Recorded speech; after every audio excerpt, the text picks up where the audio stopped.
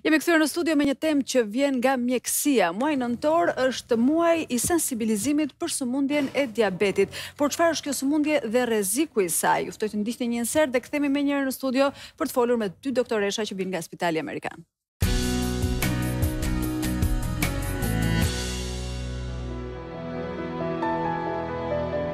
Diabeti është sot një nga sëmundjet më të përhapura në botë me rreth 415 milion njerëz të prekur. Ky numër pas dy dekadash pritet të shkojë në 642 milion. Një në njëmbëdhjetë persona vuan nga diabeti dhe çdo gjashtë sekonda një i prekur nga kjo sëmundje vdes. Në dhjetë gra, një është me diabet, ndërsa në shtatë lindje, një diagnostikohet me këtë sëmundje. Diabeti radhitet i nënti si shkak i vdekshmërisë sot në botë, duke shkaktuar rreth dy pikë pesë milionë vdekje në vit. Dymbëdhjetë për qind e buxhetit botëror të shëndetësisë shkon për diabetin. Në katërmbëdhjetë nëntor është Dita Ndërkombëtare e Diabetit, ditë e cila bashkon të gjitha komunitetet dhe institucionet shëndetësore botërore në ndërgjegjësimin dhe trajtimin e kësaj sëmundjeje. Ndër problemet kryesore që sjell diabeti për shëndetin lidhet me shikimin. Sytë janë ata që mund të dëmtohen në varësi të llojit të diabetit, prandaj është e domosdoshme të kontrollohen sa më shpesh. Spitali Amerikan me Klinikën e Syrit dhe mjekët oftalmologë ofron shërbimet më të mira në këtë fushë.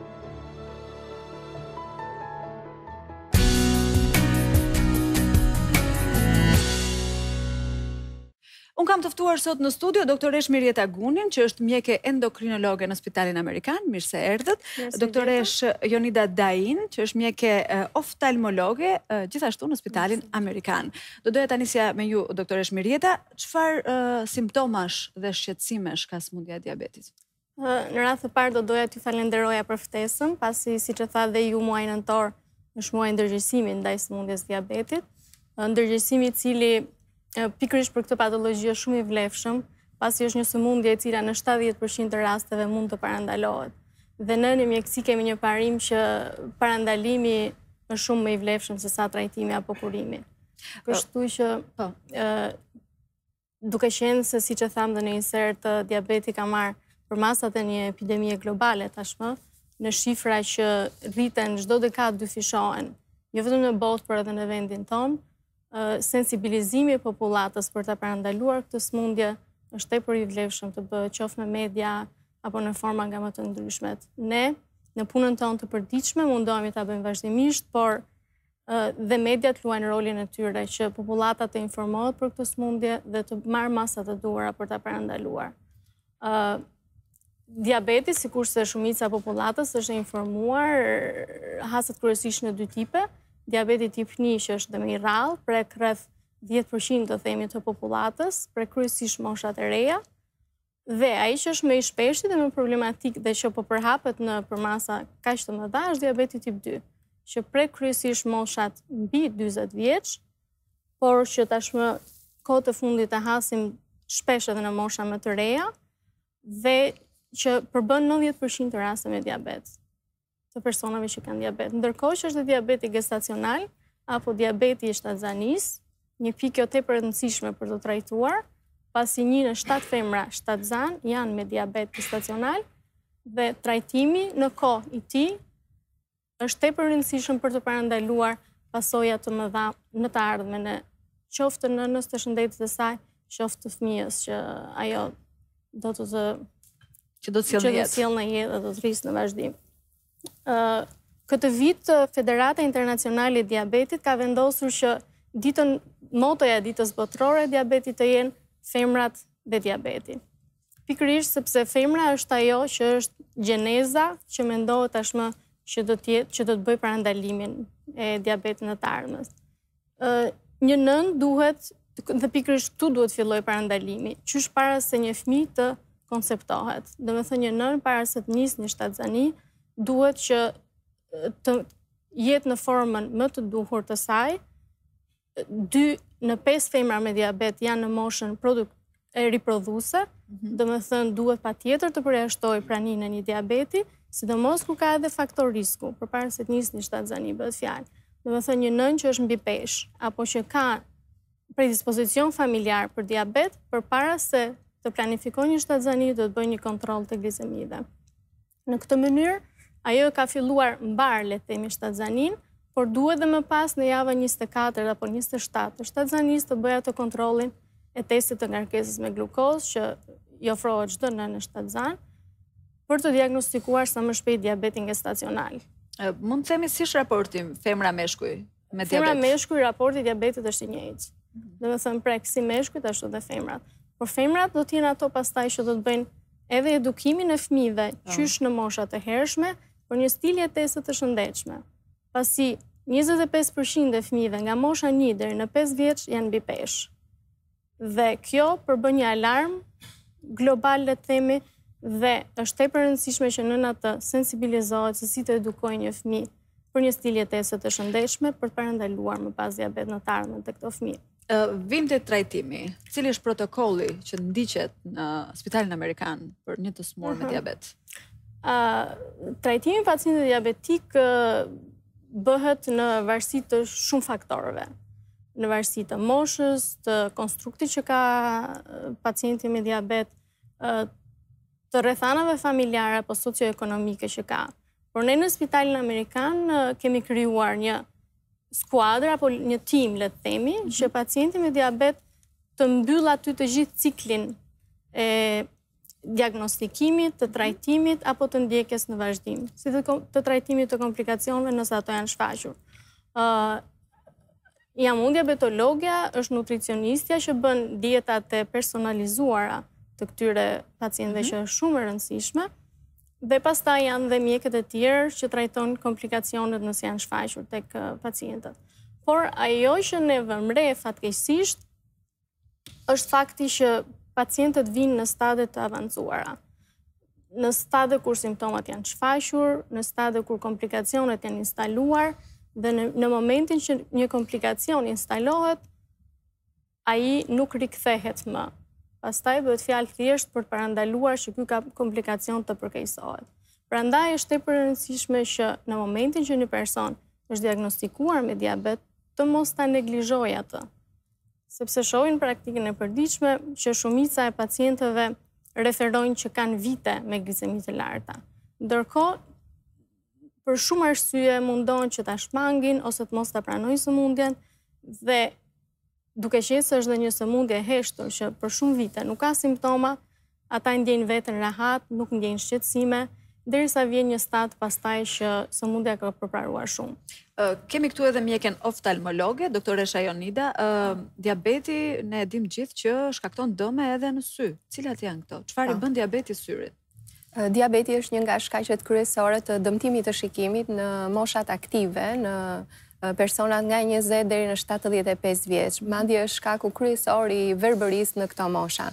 Një nga dëmtimet kryesore që shkakton në sy është retinopatia diabetike, e cila natyrisht ka disa stade dhe ka një ecuri të gjatë të saj.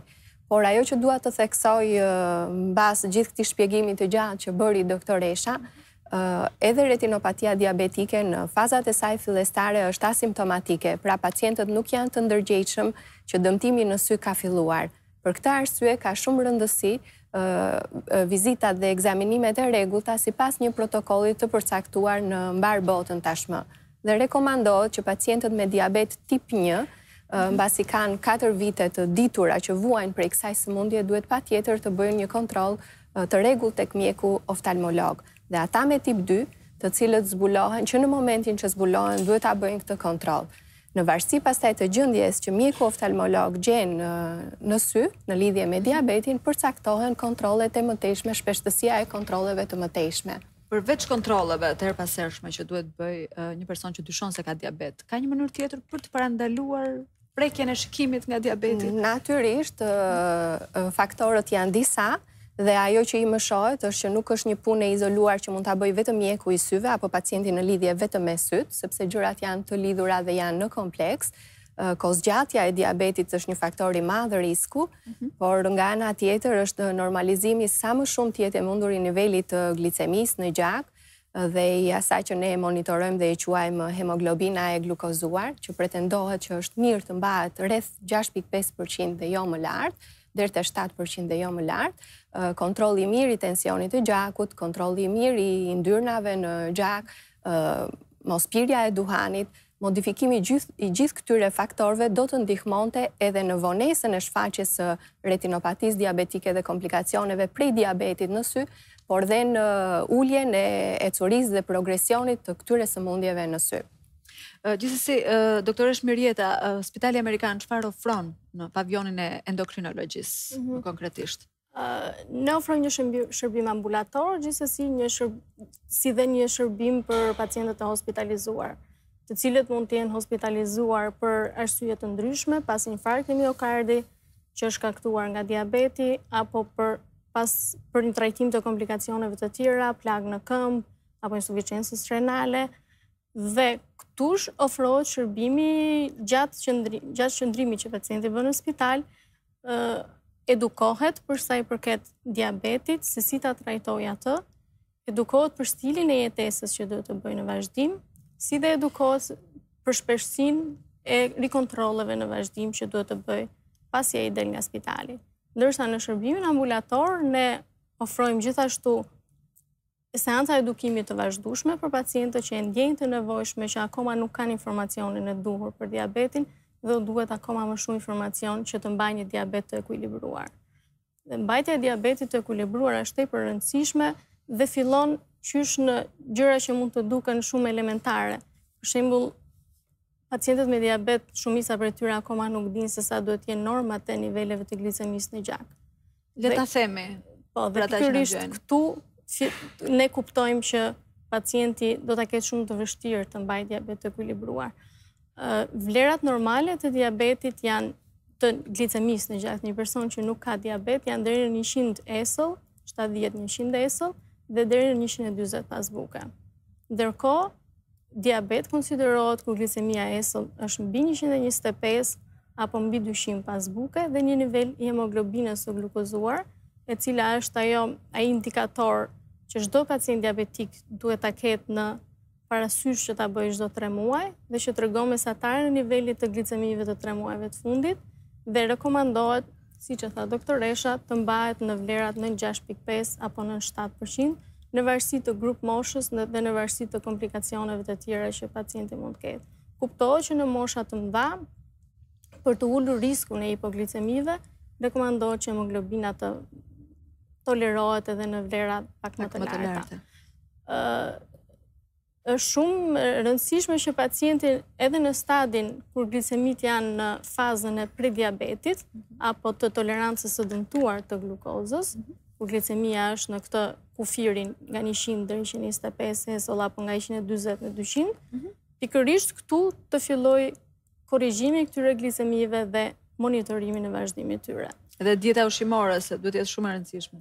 Atëherë për në seancën e edukimit që ne bëjmë, ofrojmë dietat ushqimore të personalizuara nga nutricionisti, ofrojmë edukimin për aktivitetin fizik për secilin person në varësi të kushteve që ai ka, sepse është shumë e thjeshtë që teorikisht t'i thuash pacientit dil bëj vrap apo bëj aktivitet fizik.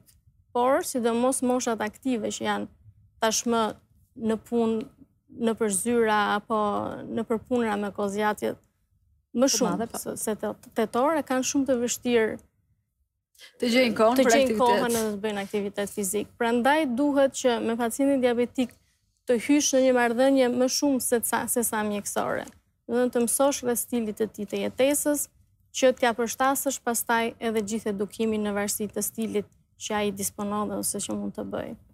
Doktoreshë Jonida, pas sa kohësh diabeti e dëmton shikimin? Sa kohë duhet të ketë kaluar i pamjekuar që të ketë shkaktuar dëme të rënda në shikim? Atëherë, për këtë arsye e përmenda dhe pak më lart, në tipin një të diabetit, mbas 4 vjet histori sëmundje, pritet që ka shanse që mund të shfaqen dëmtimet dhe për këtë arsye kontrolli është i detyrueshëm. Ndërsa në pacientët me diabet tip 2, duke qenë se sëmundja mund të zbulohet shumë vite më vonë mbasi ajo ka filluar, duhet që depistimi të bëhet që në momentin që pacienti zbulohet se vuan prej diabetit tip 2. Një grup tjetër i, i pacientëve janë edhe ato diabetikë të cilët krijojnë një shtatzani, bëjnë një shtatzani. Edhe ato duhet të kenë një kontroll të rregullt me mjekun oftalmolog në momentet e para në tremujorin e parë të shtatzanisë dhe në vazhdim sepse ndryshimet fiziologjike që ndodhin mund të përkeqësojnë edhe gjendjen e syrit. Në qoftë se pacienti e ka në kontroll vlerën e sheqerit në gjak, vazhdojnë dëmtimet në shikim? Kohëzgjatja e historisë së diabetit është një faktor i madh risku. Sa më gjatë të vuajë pacienti nga diabeti, aq më i madh është risku që sëmundja të shfaqet. Për shembull, tek pacientët me diabet tip 1, Risku mbas pesë vjetëve histori sëmundje është njëzet e pesë për qind që të shfaqet retinopatia diabetike dhe është gjashtëdhjetë për qind mbas dhjetë vjetëve histori. Pra kohëzgjatja e sëmundjes është një faktor risku pavarësisht edhe nga mbajtja afër normës, sepse normalizimi është diçka që ne mund ta themi, por është e vështirë të arrihet gjithmonë. Pra kohëzgjatja është një faktor i madh risku dhe gjithë faktorët që përmendëm më lart, sëmundjet e tjera shoqëruese, të cilat dhe ato duhet të jenë sa më të mbahen sa më shumë në ekuilibër. Doktoreshë Mirjeta, cilat janë këshillat që do t'i jepni një personi që ka dyshime se mund të ketë diabet, apo një që sapo ka zbuluar se ka diabet? Atëherë ne rekomandojmë që çdo person mbi moshën 40 vjeç, një herë në vit duhet të bëjë një kontroll të glicemisë dhe hemoglobinës së glukozuar. Në rast se ky person paraqet faktorë risku të tjerë që përmendëm më lart, është mbi peshë apo ka në familje persona me diabet, ky kontroll duhet të jetë dhe më i hershëm. Në momentin që ai diagnostikon një glicemi të lartë, patjetër duhet të drejtohet në një qendër shëndetësore për të marrë trajtimin e duhur të diabetit në varësi të glicemive që ai ka. Dhe një herë në vit, çdo pacient me diabet tip 2, ose në pacientët me diabet tip 1, siç tha doktoresha, kontrolli është pas 5 viteve të shfaqjes së diabetit, ndërsa në ato me diabet tip 2, një herë në vit duhet të bëjnë një kontroll rutinë të komplikacioneve të mundshme që mund të japë diabeti.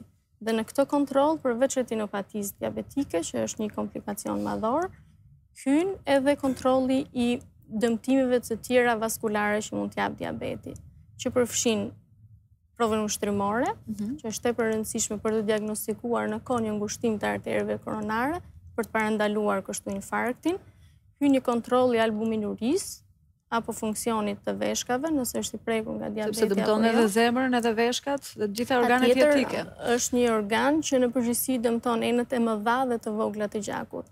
Dhe çdo organ i trupit që furnizohet nga këto enë më pas do të vuajë pasojat. Është shumë e rëndësishme parandalimi i plagëve diabetike, pasi në momentin e instalimit ato kanë një kosto socioekonomike tepër të madhe. pacienti invalidizohet dhe këtë invalidizim e vuan jo vetëm ai të cilit i reduktohet jetëgjatësia, i, redukt, i prishet shumë cilësia e jetës, por dhe gjithë familja do të vuajë pasojat e çdo lloj komplikacioni. Por, plagët diabetike dhe insuficienca renale janë ato me kosto socioekonomike më të madhe. Kështu që kontrolli rutin duhet bërë i gjithë komplikacioneve të mundshme të diabetit një herë në vit. pavarësisht se pacienti mund të ketë diabet të ekuilibruar. Sepse ndodh një, një përqindje shumë të vogël rastesh që dhe në ato me hemoglobinë 6.5 apo 7, pra që kanë janë munduar të mbajnë diabet të ekuilibruar, për shkak të kodit të tyre gjenetik që kanë trashëguar nga paraardhësit e tyre, prap kanë një predispozicion për të bërë komplikacione kronike, por ky predispozicion kuptohet është shumë shumë më i vogël se ato ato pacientë që kanë pasur glicemi të lartë gjithë kohën. Ju falenderoj që ishit në studio me mua. Shpresoj të kemi shërbyer sado pak për sensibilizimin e popullatës për këtë sëmundje. Faleminderit. Ë, uh, kalojmë në publicitet.